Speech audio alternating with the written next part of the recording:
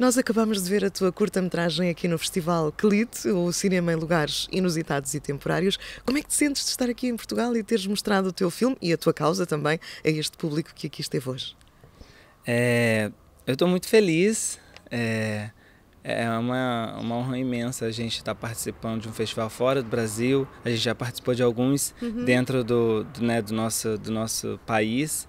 E também já saiu, foi para Miami, mas agora está aqui em Portugal, né? Nossos, né? Muito próximos, a linguagem próxima. É. E, e, isso para mim é, é, é é muito legal, muito importante, porque a gente alcança cada vez mais pessoas, uhum. que é exatamente esse o objetivo do qual eu quero alcançar com o filme, levar essa história, levar essa mensagem, essa ficção, essa dulce, que quem assistiu pode conferir, é, levar ela para mais próximo, é, alcançar alguns corações que Sim. muitas vezes são difíceis de alcançar e a gente vai por outros meios, pelo meio do, da memória, do coração e do afeto, uhum. né? Já alguém te disse que se tinha identificado muito com alguma das personagens, seja com a tua, seja com a da Dulce?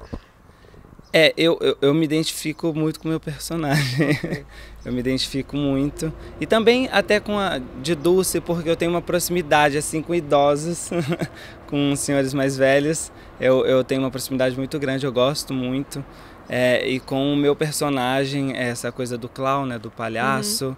é, da, da sanfona, né, do acordeon também, do qual então a gente foi colocando também coisas que eu poderia incrementar no personagem, né, para poder dar vida a ele e, e, se aproximar mais também.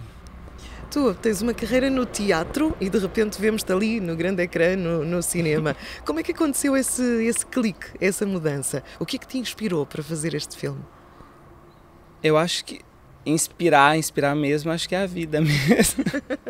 é, as inúmeras histórias que a gente ouve, é, que a gente vê acontecendo e, e que muitas vezes elas não são tão poéticas, elas não são tão felizes, uhum. elas são muito dramáticas e aí a gente tenta colocar um pouco de poesia e afeto, né, como eu falei, é, em cenas, é, não só no teatro, mas levar para o audiovisual, porque eu sou do teatro, e gosto também muito do audiovisual, claro. mas tenho menos proximidade e também menos acho que é, menos oportunidade mesmo de, uhum. tá, de estar fazendo é, o audiovisual, okay. filmes, é, séries, enfim. Mas aí a gente busca a nossa oportunidade fazendo o nosso, né?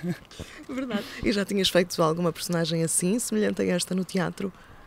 É, eu, eu, eu, trabalho muito clown, eu okay, gosto okay. Do, do palhaço, eu gosto de, dessa linguagem. Então, o próximo mesmo é do palhaço mesmo, o acordeon que eu também já tinha usado no teatro. é. okay.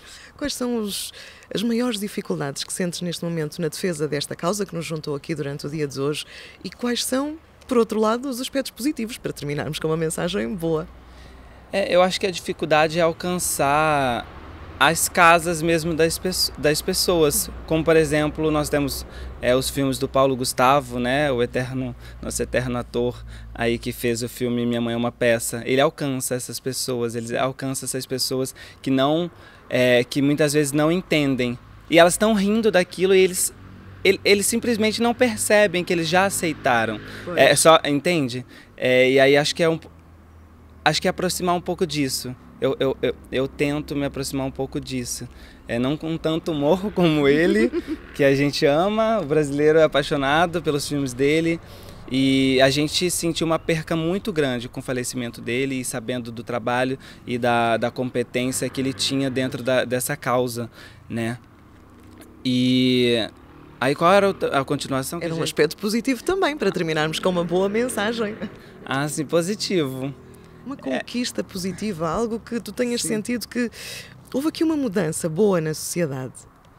É, acredito que muitos familiares meus assistiram. Eu, esse nunca foi um debate, nunca foi uma uhum. conversa aberta em relação à minha sexualidade, o que eu faço ou deixo de fazer.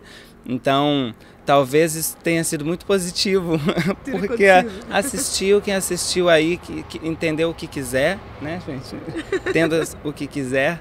É, mas assim, de positivo mesmo é, é conseguir tocar as pessoas mesmo através do afeto, da memória. Uhum. É, e, e principalmente estar com uma atriz como a Camila Amado né, no nosso trabalho, no nosso Doce, projeto e que, e que tem aí um, um, um afago com, com a população brasileira, que ela, né, ela tem já essa proximidade já por ser uma atriz muito, né, muito antiga lá no, do nosso teatro e da televisão também. Sim, senhor. E agora é seguirmos o teu Instagram para podermos ver aquelas cenas todas que foram cortadas, que não puderam ficar na curta, não é? Ah, tá, tá. Sim, é no tem... teu Instagram ou no, no do filme? No do, da produção, okay. da produtora. Tem o meu Instagram que é Guilherme Quadrado é arroba Guilherme Quadrado e o da produtora é Entre Laços Produções, Entre Lacos ponto Producões. Okay. Aí lá tem as coisas, os festivais que a gente já participou e que a gente ainda vai participar. Exato. Guilherme, muitas felicidades para Obrigado. ti, para a tua carreira, para o teu filme e esperamos um dia voltar a ter-te aqui em Portugal, entre nós. Vamos, com certeza voltarei. Muito obrigada, obrigado, muito obrigada. Obrigado, Aproveita a tarde. Obrigado.